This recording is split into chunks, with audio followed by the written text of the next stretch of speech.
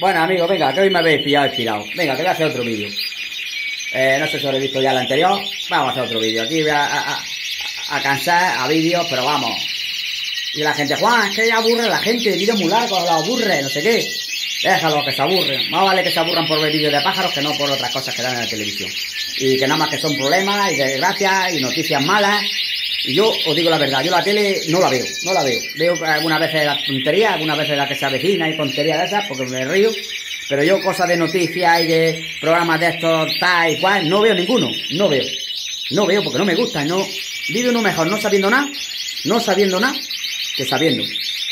Ahora míralo, otra vez nos encierra. A partir de mañana ya han cerrado San Pedro de Pinatar, el Alcázar, que está todo cerrado, unos cuantos municipios de la provincia de Murcia. Pues nada, si lo sabía yo, nos dan suelta para la fiesta de Navidad y seguirá cerrado otra vez. Y así vamos a estar a saber, hasta saber cuándo. Vale. Muchas cosas que pasan, por imprudencias nuestras. De los mayores, de los jóvenes, de quien sea, imprudencias de nosotros, de todos. Porque más o menos ninguno llevamos cuidado. Pero en fin, vamos al tema que vamos. Vamos a ver, esto de los pájaros, yo, eh, mirad, mirad, pisando la hembra.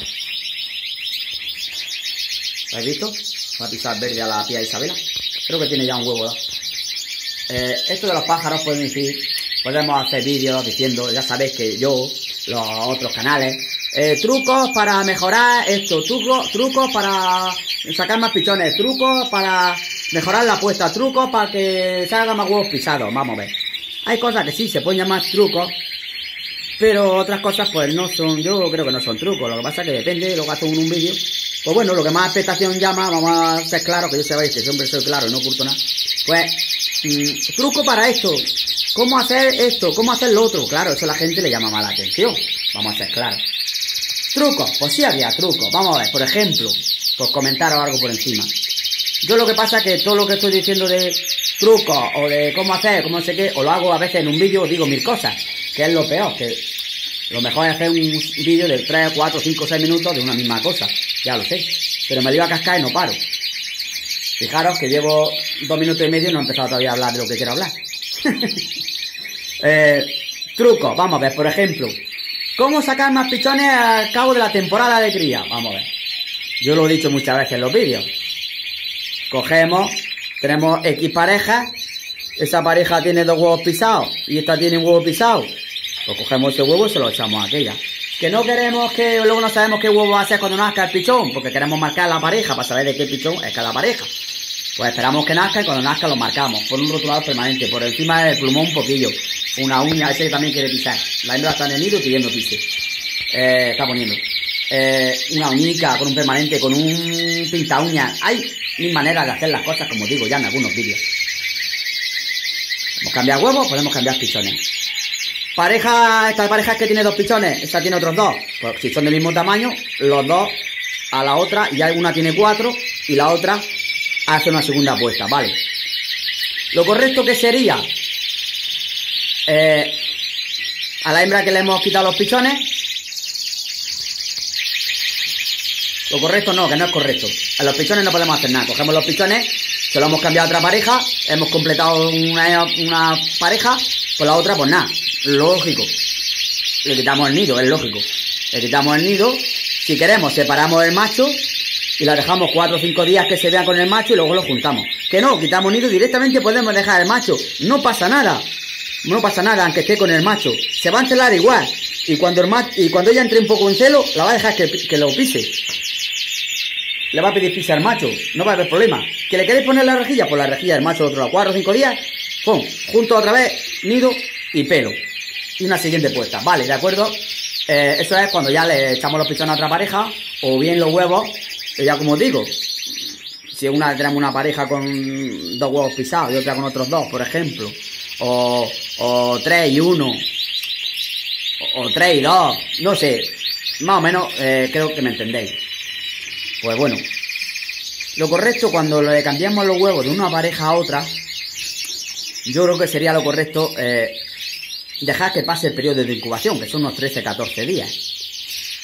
¿no? Porque yo vamos a ver si esa hembra tiene dos huevos pisados y esta otros dos y quiero coger y echárselo los cuatro huevos a una, pues perfectamente yo cuando lleven cuatro días, cinco, con cuatro días ya lo veo perfectamente. Pero vamos a ver, con cinco días yo ya puedo coger los huevos, veo los que he pisado, se los paso a esa pareja. Y a esa hembra le quito el nido. Vale, vale. Y que, y, que haga otra puesta. Vale, correcto. Pero lo veo mejor dejarla que esta hembra, aunque le vayamos a quitar los huevos después, que haga los 13 días de incubación. O 12, porque si no queremos que ella saque pajaricos, da lástima una vez que ha sacado, eh, coger los pajaricos recién salidos y quitárselos y dejárselos a otra. No pasa nada, porque los animales no les pasa nada, pero bueno, da cosa, ¿no? Pues vamos a poner, lleva 12 días incubando. Para los 12 días cojo, ha hecho su periodo prácticamente ya de incubación y cojo los huevos y se los paso a la otra. Entonces ya la dejo unos días sola o con el macho y le pongo el nido 5 o 6 días, ya sabéis. Esa es la mejor manera para que la hembra, pues, eh, tampoco se desgaste mucho, porque vamos a ver, si acaba de hacer una apuesta de 4, 5 o 6 huevos en algunos casos, y a cuarto o quinto día ya le hemos quitado los huevos, pues en principio la hembra esa, pues poco ha descansado, ¿no? Le vamos a obligar a que enseguida haga, otra apuesta, muy seguida, no sé si sabéis por dónde voy. Entonces hay que dice, es que es que le quitamos los huevos porque es pérdida de tiempo. Le quitamos huevos, pérdida de tiempo, cinco días, se los pasamos a otra pareja y así ganamos tiempo.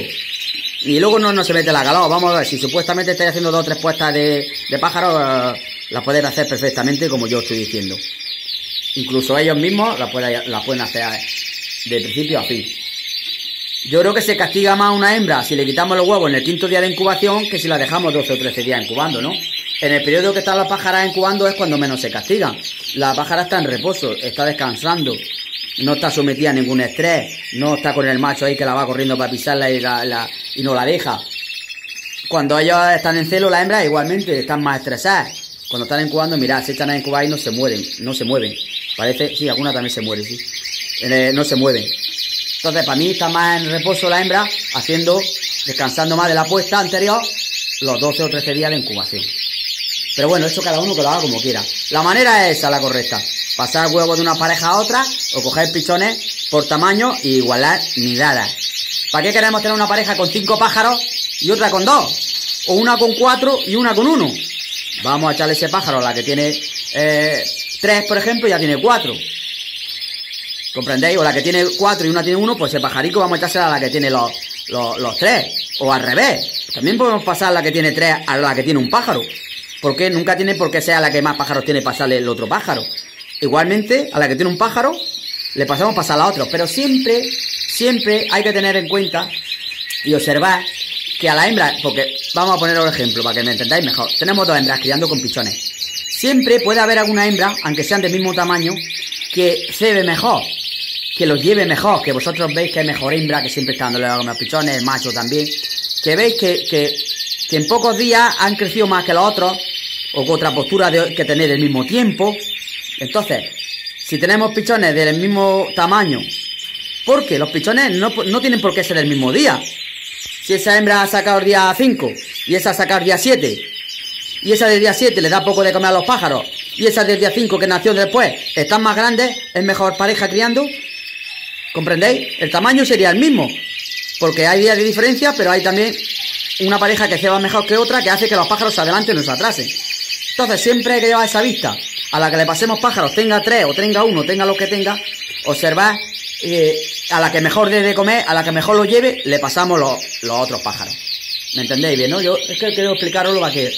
A veces a lo mejor no lo explico como tendría que explicarlo, pero claro, cuando tengo uno el móvil aquí en la mano, que lo tengo en la mano, y hablando, y, demasiado bien creo yo que lo hago, creo, ¿eh? Creo, porque lo hago todo, cojo el móvil y digo voy a hacer un vídeo, y conforme me saca, ¡pum! Lo hago. Otra cosa, otro truquillo, como dicen. Que este truquillo, yo no lo veo truquillo ni lo veo nada, porque a mí no me vale de nada, ni lo he hecho nunca, ni lo voy a hacer. Solamente lo voy a hacer, ahora después os explicaré el caso, que ya lo sabéis que lo comenté el otro día. Eh, una hembra está poniendo. Ha empezado a ponerme el primer huevo. Hay quien dice, vamos a quitarle el nido todos los días y por la noche se lo ponemos. Vale, ¿Para qué hacen eso supuestamente? Supuestamente eso se hace para que la hembra cuando tenga un huevo o tenga dos huevos no se, eche a, no se eche a incubar. Alguna hembra con un huevo o con dos huevos ya se echan a incubar. Para que no se eche a incubar le quitan el nido durante el día, se lo ponen durante la noche. Claro, eso es como se da en el pico. Y se lo ponen durante la noche. Dicen que para asegurarse de que el macho pise en más ocasiones a la hembra, porque si la hembra tiene dos huevos, por ejemplo, ya se echa encima del nido ya, no sale. Prácticamente no sale, sale a rato. Y entonces ellos dicen, yo le quitamos el nido durante el día y así tenemos más posibilidades de que macho la pise más veces. Vamos a ver, señorito. Cuando una hembra tiene ya dos huevos, eh, aunque le quitemos el macho, los restantes, creo que con seguridad son tres restantes, están pisados. Entonces, por esa parte no me vale. Y por otra parte tampoco me vale, porque le quitemos el nido, ya la va a pisar más veces al cabo del día. Vamos, que no es esto, no es que es que decir que pone un huevo y hay que pisarla 20 veces para que el otro huevo de otro día valga. No, señores, eso no va así. Si los pájaros con tres veces que pisan a la pájara ya eh, en dos días están todos los huevos fecundados. No es así como piensan mucho y como están enseñando, así no es. Entonces yo no lo hago porque a mí no me hace falta de que dejar a la hembra que tiene dos huevos ya y se echan y no sale, ya se la trae a comer, claro que sale.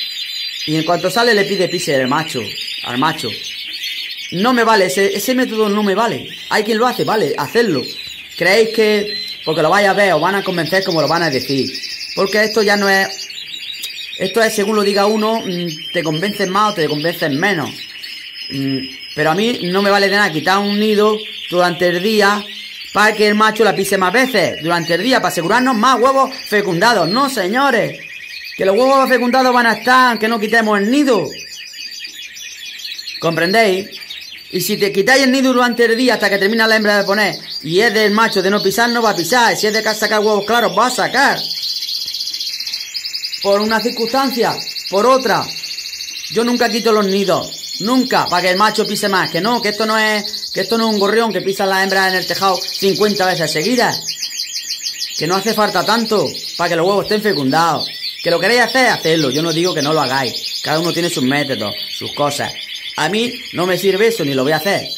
¿Cuándo es cuando quito yo el nido? Durante el día y lo pongo por la noche. Cuando tengo una hembra sola, como sabéis, sin macho, los pollos ya han saltado del nido y quiero que esa hembra me siga poniendo, no perdiciar esa postura de huevo y entonces se lo pongo de noche el nido para que ponga el huevo otro día por la mañana y cuando ponga el huevo se lo quito el nido así no se mete en Cuba y no me deja los pollos de lado. Cuando tenga los cinco huevos, se los meto a la pájara y los pollos prácticamente ya deberían de comer prácticamente solos. No les pasaría nada. Ya sabéis, ese es el método que yo uso. Entonces sí le quito el nido, para que ella no se meta, porque si se mete y se dedica ahí a incubar el primer huevo, el segundo o el tercero, que sea, eh, los pollos los deja de lado, entre comillas. Entonces yo lo hago así, hasta que no tiene el quinto huevo o sexto, pues no le pongo el nido. Y gano esos cuantos días de que está ya poniendo cinco huevos, si falla algún día por el medio, que normalmente puede fallar algún día, seis días, más lo que entre que yo le pongo el nido, que el macho está, que tal, que se la meto, se le meto el macho dos ratos, que la pise, que no es dos días, tres días alternos.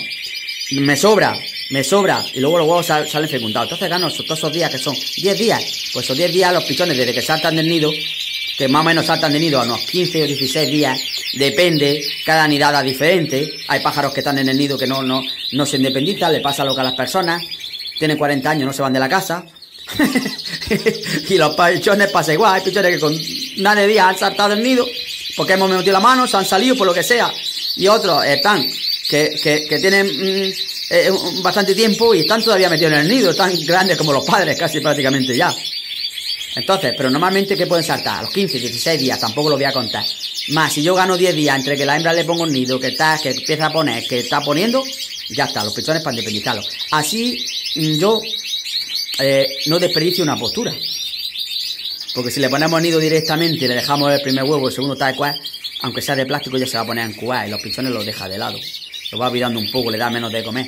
Entonces esa es la manera. Que de otra manera no queréis hacerlo así, pues no tenéis más remedio que no ponerle nido y si pone huevos por la rejilla, pues que los ponga donde quiera. Donde quiera. Preciamos esa postura de huevo y la siguiente pues ya la metemos al macho. Yo lo hago así, pues esa postura, esa postura, eh, la salvo. Y si no la dejo ahí a criar, porque me ha puesto y veo que los pichones aún no están para quitárselo, y me ha terminado de poner los cinco huevos, pues como tengo tantas parejas, cojo esos cinco huevos y se los paso a otra pareja. Según el interés que tenga, luego según el, eh, En fin, cosas. ¿Qué hago yo? y luego otra cosa, cuando estén haciendo nido, siempre eh, lo mejor es ponerle rejilla, que el otro día se me dio decirlo. La rejilla los pichones al otro lado. se pueden dejar con los padres perfectamente, pero el inconveniente que hay, que cuando la hembra quiere hacer un nido, segundo nido, con un macho, eh, como esté en contacto con los pichones, en la misma jaula ahí, sin, dividir, no los va a pelar, nos va a sacar plumas del pecho, nos va a arrancar las colas, eso con seguridad. No todas las hembras, pero muchas lo hacen. Vamos, que no lo destrozan. No les pasa nada, porque ellos se visten otra vez y no pasa nada. Por lo menos en pájaro de canto, en otros de color y de... Pues ya es otra cosa, de, pigmento y tal igual. Pero lo mejor es la rejillica. Incluso algunas veces con la rejilla, que los pichones están al otro lado, como se arriman a darle de comer, eh, plumicas de la cola, nos pueden quitar, etcétera. Pero siempre menos que si están revueltos ahí con los padres. Aparte también que lo mejor es poner la rejilla para que no se caguen en el nido, no se metan a molestar a la hembra, como ya sabéis, mira, ahí de cuatro pichones están tan tranquilos. La hembra está incubando, no los molesta, el macho está con la hembra. Podría, una vez que esa tiene dos huevos ya creo, una vez que ponga eh, uno más, tres, para asegurar más, el macho lo puede pasar ya con los pichones, no pasaría nada. Pero bueno, eso ya cada uno que lo quiere pasar con los hijos, con los esto. Y una cosa que tiene que tener muy clara, lo que le funciona a uno no le puede funcionar, lo mismo a otro no le funciona. Y lo que te funciona con una pareja, con la otra no te funciona. ¿Comprendéis? Juan, es que me dijiste que metiera al macho con los pichones porque así mm, el macho que lo he visto muy revoltoso no deja la hembra parar. Y tú me dijiste que metiera al macho con los pichones y ahora me ha matado un pichón. Eh, si no hubiera metido el macho con los pichones no hubiera pasado eso. Señores, yo hago así las cosas, os digo cómo las hago, intento enseñaros eh, os enseño como a mí me va bien, pero esto de la agricultura no sabemos lo que un pájaro, una hembra nos va a hacer en esta puesta, no sabemos lo que van a hacer la siguiente, no sabemos un macho cómo va a actuar en esta puesta, cómo nos va a actuar la siguiente. Lo que a mí me viene bien en esta pareja, a ti te puede venir más en la otra. Depende de la, de la hembra, depende del macho, depende de mis factores. Entonces en esto, como yo digo, no hay nada seguro. Oye, sí, ponle la rejilla y el macho está, que te los cría. Y sea un macho que no da de comer a los pichones, como hay machos que no ceban, no ceban y cuando la hembra se echa cubar, el macho no da de comer a los pichones, se nos mueren los pichones. ¿Qué hay que hacer? Quitarle a la hembra el nido, no tenemos otra, quitarle a la hembra el nido, porque la hembra, cuando aunque haya puesto, cuando le quitemos nido le va a dar de comer. Por eso digo que es que esto es muy sencillo, pero a la vez complicado. Lo que nos funciona hoy, mañana mm, no nos funciona. Y lo que nos funciona con una pareja, con la otra no nos funciona. Y luego en una postura pasa, no nos pasa con la otra. Yo he tenido machos, por ejemplo, que han roto los huevos en una postura. Ya no me he fiado. Entonces, ¿qué he hecho? Siempre la rejilla. La rejilla. ¿Qué pasa? A lo mejor me he descuidado una mañana y he venido por la noche y digo, adiós, ya me ha roto el huevo porque no le he puesto la rejilla, se me olvidó ponerse la noche al macho. ¿Y qué pasa? El huevo estaba intacto. Los pájaros no hay que los comprendan, no hacen una de calle y otra de arena. Hay parejas que sí la echamos se hace tres posturas, por ejemplo. Tres posturas perfectas, huevo. Mira, mira cómo pisa. ¿Eh? Acaba de pisar ahora mismo. Acaba de salir la hembra del nido y acaba de pisarla. ¿Veis lo que os digo? Tiene dos huevos. Estaba la hembra metida en el nido. ¿Veis cómo sale también a comer? Ahí está comiendo la hembra. Y cuando sale, eh, le piden pisar macho. Ella, nada más salir del nido, ella le pide pisar macho. Mira el macho ahora como le está dando de comer. Así de luz al móvil. Es que no hay mucha claridad aquí. Como tengo las, las telitas puestas a la ventana, no hay mucha claridad. Pero bueno, que le sobra. Le sobra claridad. Bueno, ya os digo, hay mi manera de hacer las cosas y me puede funcionar una mejor y otra. Ahora, yo lo hago como lo hago, intento enseñaros como yo lo hago, como a mí me funciona. Y incluso a mí alguna cosa que yo lo hago siempre así, me puede fallar, porque alguno me la haga, algún pájaro me la haga. Entonces, os la puede hacer a vosotros igual. Entonces, mm, yo no puedo hacer otra cosa cuando alguien me diga, oye Juan, le dije, me dijiste que esto y no, no para, no me ha hecho esto el macho, la hembra, eh, dijiste que está y ahora no se mete en cubar me dijiste que los pichones estaban aquí y la hembra que ya se han ido con los pichones, me dijiste por en el otro extremo que le van a comer y ahora no le dan de comer, me se han muerto. Puede pasar, puede pasar. Señores, aquí no hay nada seguro. Venga, ya no digo más. que vaya a saber más que yo. Venga, hasta luego.